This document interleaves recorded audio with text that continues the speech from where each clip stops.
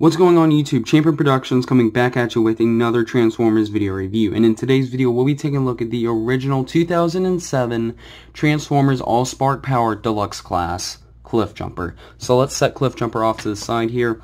Raise the camera up. There we go. And yeah, the packaging is actually pretty cool. Um, you got a picture of the Allspark there in the background. Allspark Power. Uh, we got a picture of the Transformers logo, and then we got um, an Autobot insignia right there. On the front of the box here, we got Cliff Jumper, um, Autobot insignia. We got a picture of Cliff Jumper's face. Coming around to this side, we have a little Autobot insignia right here. And then on this side, it's got some textures on it, which is pretty cool. Um, yeah, some textures and some wires on the side here. Uh, on the bottom, uh, nothing going on there. Uh, coming around to the back of the box here, we got a picture of Cliff Jumper in his robot mode. That is cannon converts to a blade. And his Camaro concept mode. A little bit on that, um, a little bit more on that here in a little bit. But, um, yeah, he does have a bio. Let's read that. Surely an impatient, Cliff Jumper is almost the exact opposite of his friend Bumblebee. Where Bumblebee is sneaky and careful, Cliffjumper is just loud. He'd rather find the nearest Decepticon and blow him away than sneak around gathering intelligence. If you know where the bad guys are, you really don't need to know anything else. Reasons? Cliffjumper. Why not just start blasting and pick up any data you need afterward from smoking wreckage? With Megatron and the Allspark destroyed, hunting Decepticons is easier and more fun than ever. So, pretty cool bio. He he sounds like a bit of a hot shot, but um, yeah, he's also got some pretty pretty cool little tech specs down here. Uh, strength is my camera? Yep. Strength 8, Intelligence 4, Speed 7, Endurance 9, Rank 5, Courage 10, Fire Blast 7, and Skill 5. And then it also shows that landmines available and Autobot Camshaft. And then uh, got Transformers, Cliff Jumper. He has conversion level of 3. So, yeah, that's about it for the packaging. Let's go ahead and take a quick look at his accessories. He does come with this little gun right here which, yes, it does convert to a blade, and of course my camera's not wanting to focus. There we go. Um, it does convert into a little sword, and as you can see, it's a pretty, it's a pretty good-looking gun. Um, there's no paint on this um, at all. um, you got a little bit of translucent blue showing up through the side of the gun here, but I mean, overall, it's a pretty neat little gun. Uh, so to transform it, what you're going to do is split it down the barrel, split it in half, and then fold the two halves onto the side, and then as you do that, the blade will fold out, and uh, yeah, here we have Blade Mode, and Blade Mode looks um, it's pretty good. I like it. Um, it looks good. It's a nice sea green color. Um, there is a little bit of mold flash right here on the side of the blade, but I mean, other than that, it's a fun little weapon, and it's just a cool, cool little accessory in my opinion. Yeah, pretty, pretty cool little gun. He does come with a instruction booklet right here. And then he does come with this pamphlet right here, which shows a bunch of different Transformers toys. Uh, we got Voyager class Starscream, uh, Leader Optimus, Deluxe Jazz, uh, robot replicas, and then they made a Starscream Nerf gun. Um, Starscream Barrel Roll Blaster. I need I need to find one of those. Um, that'd be awesome have a Starscream Nerf gun. Um, on the other side here, we got a bunch of different Transformers merchandise, school supplies, uh, shoes. Um, we have shoes, Transformers shoes, watches, shirts, backpacks, hats, all sorts of cool stuff. Then we got Ultimate Bumblebee, which I'm pretty sure a lot of that stuff, it, it, it's hard to find, like hats and stuff um, that are based on Transformers nowadays. But anyway, send all that off to. So yeah, now that we've taken a look at everything else, let's go ahead and bring Cliff Jumper back into view, and here he is in his Camaro concept mode. Now obviously nowadays, this is an official vehicle, but back in 2007, this was not an official vehicle, and even though it was, uh, it was shown in the live-action uh, Transformers film, it was it wasn't made an official vehicle at that time. It was it wasn't until later on that this design of Camaro would become an official vehicle, uh, or yeah, design of car or Camaro, whatever, um, became an official vehicle. And just this vehicle mode works for me. I really do like it. Um, and it just looks good, in my opinion. I, I really do like it. Um, got some nice silver paint for the Chevy emblem right there. Got some nice silver headlights painted in there. You do got the nice, uh, you do got the stripes that Bumblebee would normally have, but they're painted silver with some uh, black outlines. Um, but it doesn't go onto the uh, roof or anything. It just stays on the hood, which, I mean, I'm okay with it. Still looks good either way. But, um, yeah, I got some nice silver painted hubcaps. Got, um, it's very hard to read even in person, but it says Camaro and it's painted silver lovely little piece of detail and it's just amazing that they painted that. Uh, got some nice silver door handles here. Um, coming around to the back here, I can't tell exactly, but I'm pretty sure, I could be wrong, I, I, I can't really tell, but I'm pretty sure they use a slightly different shade of red for the back tail lights, which that, that that's that's amazing. uh, again, got another nice silver Chevy emblem right there. Um, some nice silver um, uh, exhaust pipes. I can't find the word. Um, but yeah, got some nice silver exhaust pipes on it. And just overall, this figure is well painted and just looks really good. Now, you can store the weapon in vehicle mode. Uh, I'm going to show you that real quick. So, I mean, yeah, this is this is what go that's what this is what's going on on the underside of the car. Um, yeah, just some robot kibble.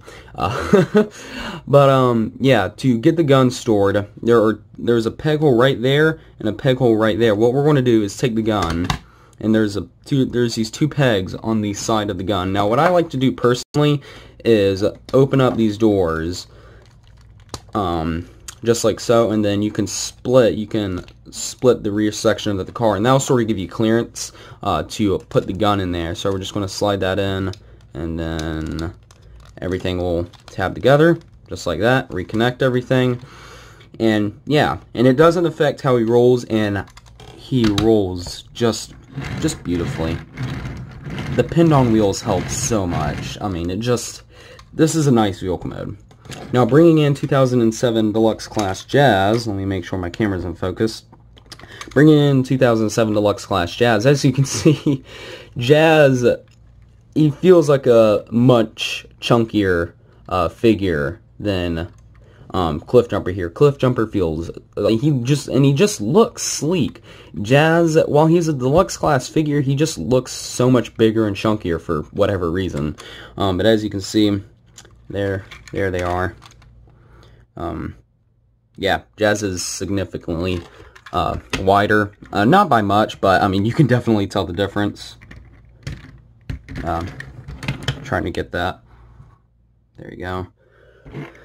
Let's bring in 2007 Leader Class Optimus Prime. And, uh, yeah, Optimus is a uh, obviously a semi-truck. And, I mean, honestly, these two do scale fairly well next to each other. I mean, obviously, we never saw Cliff Jumper in the film, and I wish that we did. But as you can see, I feel like these two are decently in scale, if not in scale with each other. Um, yeah, I mean, that looks good. If I ever display these two figures in vehicle mode, this is probably how I display them, because that actually does look pretty accurate to how a um, Camaro would um, um, scale with a semi-truck. So, yeah, a good scale.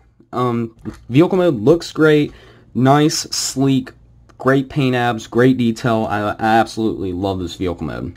So let's get Cliff Jumper transformed and into his robot mode. So the transformation is pretty easy. It's pretty cool as well. Um, so what we're going to do is start off by untabbing these doors off the side. And yes, you can count that as articulation in vehicle mode, but robot junk. anyway, or robot kibble, I guess. But anyway, we're going to come to the back of the uh, vehicle mode here, and we're going to split it apart. Then we're going to remove his gun, set that off to the side. Then we are going to pull this section up here and this whole the whole uh, roof of the car here um, untabs from the back section and then it splits apart and these will become the robot arms. Now before you pull those two sections away we got we have to pull these sections out just like so and this will pull the um, door out as well. It is quite tight on this one side but it will click into place. That is very tight. Um, yeah, then you can move the arms out the way. Then what we can do is just if we get enough clearance, we can move these. It's, it's very hard. Um, move these door sections, move them up, and then notice here there are these gears right here. And as you fold the chest down, um, it will begin to sort of spin the arms around. And that will allow you to, um, that will allow you to position everything correctly. So as you fold the arms down, I mean, and you can move this section out of the way as well. So just sort of, uh, just sort of fiddle with everything. Uh, it is uh, is a bit fiddly of a transformation, but once you move the arms out of the way, uh, you can reposition the doors uh, to make that wing effect. Then what we can do from there is take the arms, fold them around, and then take the hood or the roof of the car and fold it onto uh, or swivel it around onto the side of his arm. So just like so. Swivel it around. Then for the legs, the legs are probably the coolest part of the transformation. So what you do, so then what we do is we take this section here and we fold it up, just like so. And then for probably one of the cooler parts of the transformation, we take this foot section and we fold it up and as you fold, fold it down and as you fold it down the back of the car folds up onto the back of his leg and then the wind the back windscreen or windshield goes onto the side of his leg. And that's a pretty cool little automorph gimmick that they had back then so do it from this side. And as you can see on the front it kicks or it pushes forward his shin. Then all we gotta do get him situated uh, move these uh, move the front of the Camaro up to form the chest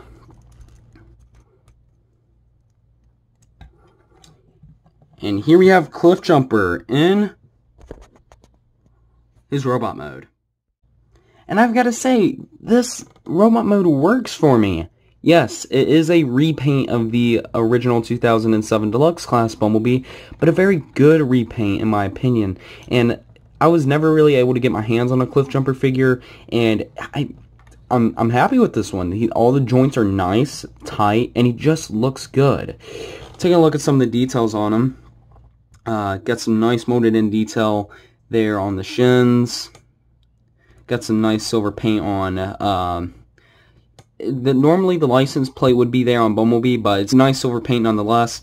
Um, on the torso section, we got some nice all spark blue here on the forearms. Um, some nice all spark blue on his stomach area. Coming around to the top here, uh, we got a nice silver Autobot symbol right there on his chest. Um, a beautiful head sculpt. I mean, obviously, it's nowhere near accurate to the um, uh, to how Bumblebee looked in the movie, but I mean, it sort of sets him apart from the um, Bumblebee. So uh, it sort of works in my opinion. And if you get the light just right, he's got some nice, beautiful blue light piping. So that's pretty cool. He can hold his gun, which I'll show you real quick. Um, yeah, so what we're going to do to get his gun into place is a, he's got a little handle right here that will just simply slide into his hand or snap into place. And I mean, that, that looks pretty good. You could probably get some decent poses with him holding his um, gun here. Um, yeah, and obviously you can convert it into sword mode. Um, that's how that looks, so he can come at you with a sword. But I mean, yeah, it's pretty cool little weapon here, and it does a fairly nice job uh, representing what we saw with Bumblebee's cannon in the movie. And like I said, this is a repaint, so yeah. Bringing uh, bringing in some size comparisons, let me bring in Jazz, Deluxe Class Jazz. I mean, as you can see, Jazz is just a tad bit shorter than Cliffjumper as you can see. Um, let's bring in leader class Optimus Prime. Um, I have I have difficulties getting his feet to stay deployed or his toes to stay deployed because uh, it's on an auto. he just towers Cliffjumper, and I mean to be honest, that's a fairly nice scale right there in between the two. I like it.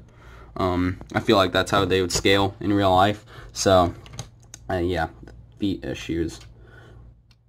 Yep, there we go. um, but yeah, his articulation's pretty good. Um, let me pull his cannon out of his hand real quick.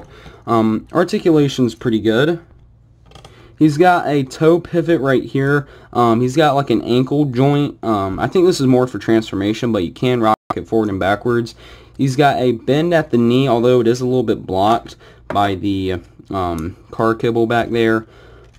He's got a ball joint in the um, hip, so he can get a good range of motion there. Um, can swivel a little bit due to the fact that that's on a ball joint. Uh, then he's got like a, let me show it to you.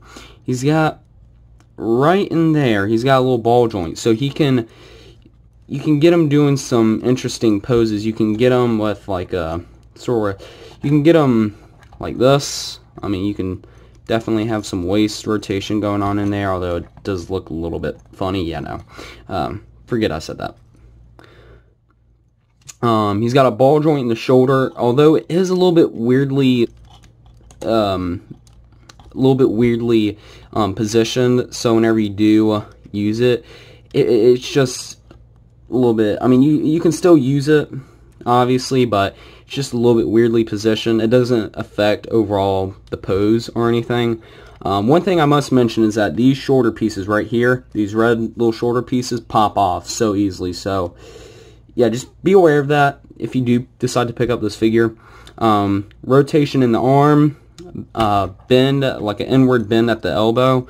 Thankfully, he's got a wrist rotation, so you can definitely have him like this with his arms normally, and you can get him doing like a normal elbow bend instead of, instead of this weird inward elbow bend.